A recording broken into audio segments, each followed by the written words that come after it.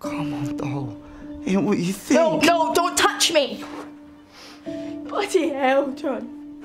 Oh my god, that was you! It was all over the news, you bloody watched it with me! No, I'm Why didn't sorry. you say anything? No, I know. For no. fuck's sake, John! Sorry, sorry.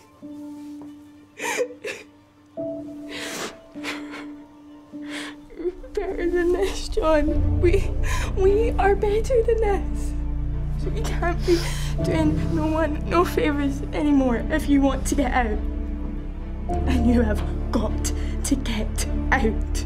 Completely out. 100% done. For good. Over.